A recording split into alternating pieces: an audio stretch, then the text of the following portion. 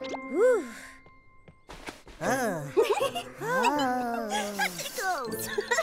so, where are you all from? We're humans from the human world. And we came here to get my sock for my friend Lila's fashion show, which is starting soon. So, if I could just have that sock back. Sorry, no. This is my sock. Actually, that's my sock. See, I have the other one right here. But I found this beauty all by myself earlier today. It's gonna be my contribution to Socktoberfest. It's a long-held tradition where dust bunnies contribute their most prized finds from across the laundry realms to the top of Mount Laundry. I searched for weeks for the perfect item. I don't know what I'd do if I had to give it up. Probably cry loudly. oh, don't cry, Destiny. I know you care a lot about this sock, but I also need it to complete my outfit for Lila's fashion show. Here, we'll help you find a different, even better sock for Socktoberfest. Nope, sorry, not colorful enough.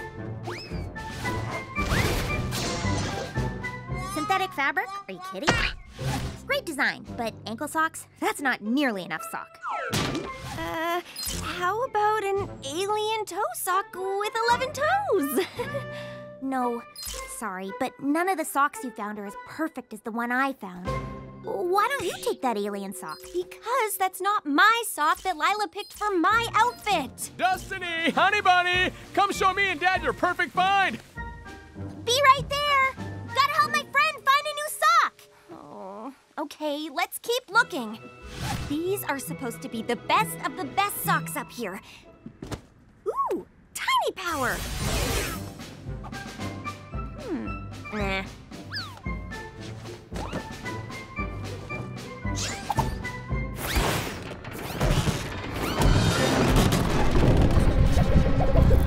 Be careful! This mountain's getting really wobbly from all the socks we pulled. We shouldn't be up here. Don't worry, we'll find a good new sock soon. Oh, I've looked at 937 socks today. Who knew there were so many shapes and sizes? And smells. I think I found Fred the leprechaun's gym socks. Blech. Hey, do you all feel something?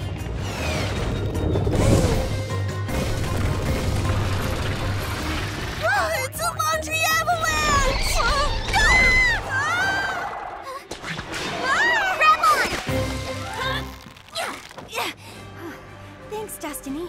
It's a good thing that sock saved me from that ball of laundry that was careening out of control and is heading straight!